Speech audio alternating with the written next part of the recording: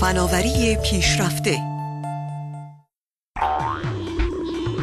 نامش کانگروی بیونیک است به تازگی توسط یک شرکت آلمانی در هانوور به نمایش گذاشته شده می تواند بپرد و هنگام زمین خوردن ضربه را جذب کند با یک موتور الکتریکی کنترل می شود و با باتری قابل شارژ به کار می افتد. این حیوان عجیب فقط 7 کیلو وزن دارد و طول آن یک متر است.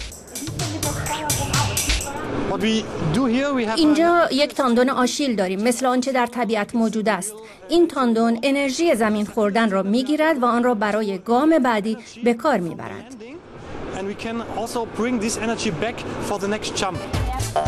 شرکت سازنده فستو می‌گوید هدف از این تجربه تولید انرژی مؤثر با الهام از طبیعت برای ساخت ربات‌های مصنوعی است.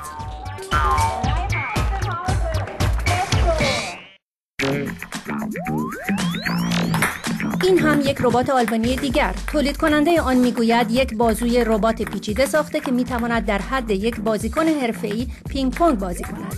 تجربه اش را هم با بازی با قهرمان اروپا در اینجا می‌بینید.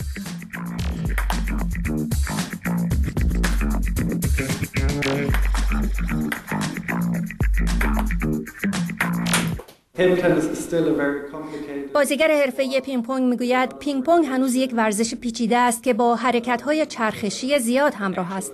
هنوز حسگرها و منطق حرکتی ربات‌ها به خوبی انسان نیست ولی شاید در آینده بتواند با ما رقابت کند.